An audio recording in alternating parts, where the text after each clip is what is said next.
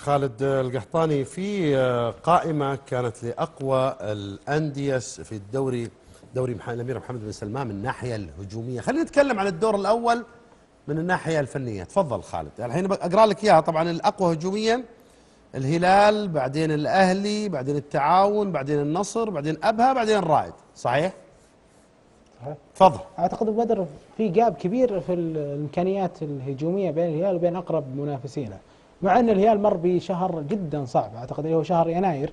الهلال في ظرف 25 يوم لعب سبع مباريات أقل من أربع أقل من أربع أيام ما بين كل مباراة ومباراة. مع ذلك ومن قبل أن يبدأ هذا الموسم رازفان لوشيسكو كان مدرب ذكي جدا في تدوير لاعبيه. حتى من قبل ما يبدأ الموسم وحتى من قبل ما يدخل في معمعة البطولة الآسيوية كان يدور ما بين لاعبيه والناس تعتقد أنها بغير مناسبة خصوصا في التدوير على صعيد قلبي الدفاع. هو كان مستوعب تماما أن لازم يكون عنده 23 لاعب جاهز لأن يكمل باقي هذا الموسم. أعتقد أنه الإمكانية الهجومية لدى الهلال هي اللي صنعت له الفارق لما يوصل إلى 42 جول في الدور الأول وهو ما بعد انتهى إلى الآن هذا معدل جدا مرتفع. تتكلم عن يعني معدل ممكن يكون تاريخي لو انتهى الموسم والهلال مستمر بهذه الوتيرة، غير ذلك ترى الهلال يملك اليوم أكثر من لاعب ينافس على هداف الدوري، يتكلم في القائمة اليوم كارلوس إدواردو وجوميز في صدارة الترتيب والكابتن صالح الشهري وسالم الدوسري وحتى سبيستيان جيوفينكو، لكن على فكرة بدر في طاري الهلال ممكن تكون في موجة غضب اليوم على رازفان لوشيسكو وللأمانة أنا ما أعتقد إنها منطقية خصوصا بعد التعثر بعد الفيصلي. رازفان اليوم لما ينهي يناير هو ينهي أصعب مرحلة بتمر عليه هذا الموسم ألا وهي مرحلة ما بعد العودة من مشاركة في كأس العالم للأندية وما بعد بطولة كأس الخليج اللي أخذت فيها لاعبين الهلال الأساسيين بالإضافة إلى مشاركته في آه، دوري أبطال مو آسيا. الهلال كل الحالة هذه مو الهلال الحالة دورة خليج الأندية كلها. لا دورة الخليج وبدر كانوا اللعيبة الهلاليين يعني كانوا هيرفي نار- رينارد يعتمد على سبع إلى ست لاعبين هلاليين بشكل اساسي بس في لاعبين من أندية أخرى اللي أقصد إنه في لاعبين من أندية. أخرى. مو الهلال الحالة كان مشارك يعني.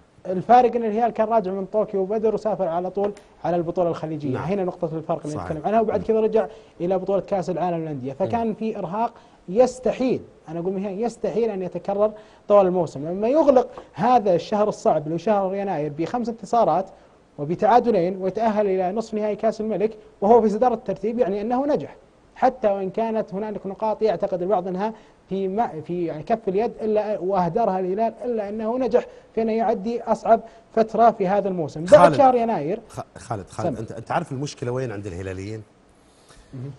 أنا أتفق مع كلامك صحيح بالمنطق وبالعقل وبلغة الأرقام، أنت كيف تقعد تتكلم على مدرب الهلال؟ يعني النتائج اللي موجودة ما تتكلم فيها، بس مشكلة جمهور الهلال يطالع الفترة هذه ويتذكر في الذاكرة القريبة.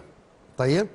فيقول لك لا آه إحنا حنخش في نفس الضعضعة وتجي ظروف تتكالب ويطير الدوري. هذه يعني اللي صار الموسم الماضي لا زال في ذاكرتهم أعتقد لو كان الحدث هذا بعد سنتين ما راح تلاقي ردة فعل الهلاليين بنفس الطريقة هو تخوفهم إن تنتهي الأمور بنفس النهاية اللي حدثت في الموسم الماضي خاصة على الجانب الفني أتكلم تفضل. أنا أتكلم من هنا بدر من الجانب المدير الرياضي أو من جانب المدرب. كيف ممكن يفكر ويدير هذه الأزمة اللي هو كان مقبل عليها. لو نرجع سنة ورا بدر ما أتكلم عن السنة ونرجع سنة ورا ونترك الهلال عجنب نتكلم عن رزفان. السنة الماضية بدأ عنده ال Champions League مع باوك اليوناني وانضغط بنفس ال- الوصفات مع إن نادي باوك اليوناني غير مطالب ابدا حتى يتأهل لدور المجموعات لكن انضغط في نفس الفترة رغم ذلك أنهى الدوري وهو بطل للدوري بدون ولا خسارة لنادي ما حقق الدوري من 50 سنة.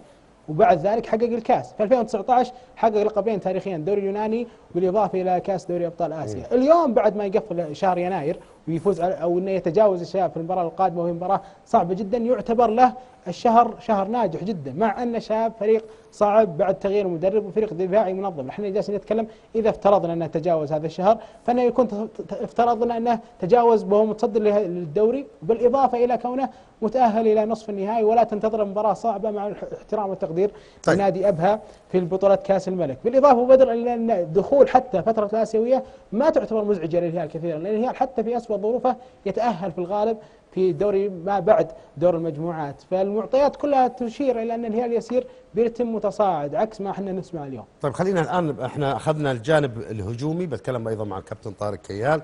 لكن خلينا نروح الفاصل